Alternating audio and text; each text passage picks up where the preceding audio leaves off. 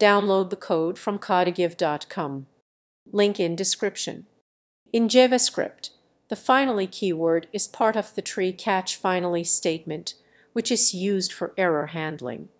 When a block of code is executed within a try statement, it allows developers to catch and handle exceptions that may occur. The finally block follows the try and catch blocks and is executed after the try block completes, regardless of whether an error was thrown or caught. This ensures that certain cleanup actions, such as closing resources or finalizing operations, are consistently performed.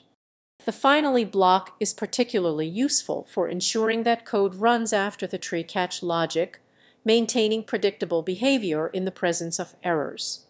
Even if the try block encounters an unhandled exception or if a return statement is executed, the finally block will still run, making it a reliable choice for essential finalization tasks in error handling scenarios.